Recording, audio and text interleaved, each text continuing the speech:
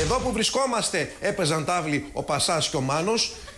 Και ο Πασάς είχε πάθει τέτοια κολοφαρδία που πήραν και όλο εξάρες, πεντάρες, εξάρες, πεντάρες, να αυτό. Ε, και, και ο Μάνος ε, ε, νευρίασε ε, και τα έκανε όλα που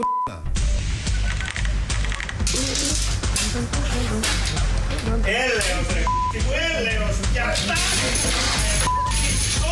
Μια εικόνα είναι καλύτερη από χίλιες λέξεις.